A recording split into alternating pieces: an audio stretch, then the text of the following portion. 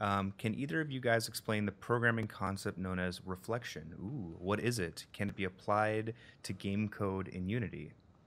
Can it or should it? yeah, it's like that meme, uh, that Jurassic Park meme where Ian Malcolm's like, no one, th- no one asked if we should do it. they were too preoccupied with if we could. No one asked if we should. Yeah. Um, do you want to take this one or will I? I think that you'll have a more technical answer. Um, but you know, from what I understand, and I, I've used reflection, but I've never really dived in. I understand it's a very expensive. Uh, it's very expensive to use reflection, and uh, so if you're, you know, using uh, it's game development, so you want to optimize as much as possible, and you know, that's that's my kind of high level answer. Mm-hmm. It's not very optimal, so I, people don't typically use it, but I so, think yeah, Jason's going to get into the weeds. It's it's literally runtime compiling. So I mean, we take it for granted that a compiler now happens so fast that you can just basically press a button and build your project. But if you ever listen to a talk by anybody who's been programming for 20 years or more, what they're going to tell you is compiling used to take, you know, hours. Maybe mm-hmm. at, at, even when it got good, it was still 25, 30 minutes, depending on what you're compiling. So we take for granted how much work is involved in literally building your code and compiling it into DLLs and that kind of thing. Um, and if you're doing reflection, you're effectively reading your code and then well, reflection initially is just reading it, but then you're probably going to be running code once you read it, right? You're going to compile it into something, or you're going to generate things from the code. So usually, I do not recommend it in any game scenario whatsoever. It's useful for two cases, though. It's useful for anything that's event driven, not loop driven.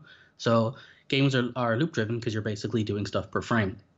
But if you're doing something where you've built an app in Unity that's not dependent on a game loop, so turn based or something, you could technically get away with it. You still shouldn't do it, but you could get away with it. But the best case for an actual practical application inside of um, a game would be tool development. So I actually do use a bit of reflection on a number of my projects because what I do is I read the folder structure and the files I have, and I generate uh, consts for the actual instances and entities I've got. So instead of writing a giant list of enums, which by the way, don't use enums for things that aren't a closed list. So use enums for days of the week. There's only ever going to be the amount there are. If that changes, you've got a bigger problem than your software. Don't use them for things like number of weapon types because that will change over the course of your application, and you just it's not what it's for. Um, so what I do is I just make a public class and I use uh, static fields. And the static field, I just add one for each different entity type I have. The reason why it's only a compile time safety on a string, and the string can be used dynamically. It gives you a lot more freedom uh, you can do generators, all sorts of fun stuff. Long story short, you don't have to write those in manually. It gets tedious if you're writing public static read-only string or public const string, whatever it is, for each and every type of weapon or gun or level or scene or whatever.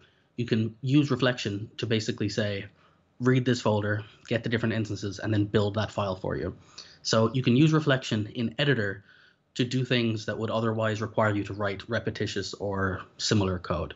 And that's a very good case for it because when you start getting into things like uh, multiple types of the same entities or variations of things, if it's not prefab based but code based, you can actually do some really good data manipulation there and have it automatically save you a lot of time. So.